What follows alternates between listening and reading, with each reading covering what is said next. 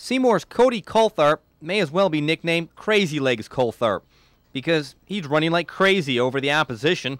He blistered Electra for 299 yards and four touchdowns on Friday night. One more yard and he would have hit the 300 mark, but he doesn't regret not reaching that milestone.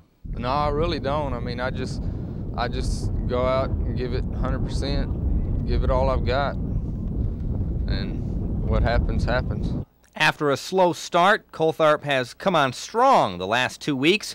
Coach Ken Cates feels it just took time to learn the system. You know, when you run the option, it's kind of a, uh, you know, either the fullback's going to have an opportunity to carry the ball, the quarterback, or the pitchman, and uh, uh, he's got more, a little more comfortable week by week reading the option and, and making some real uh, wise reads and making some good plays. And I think that has to do with, uh, you know, all of his success last couple of weeks.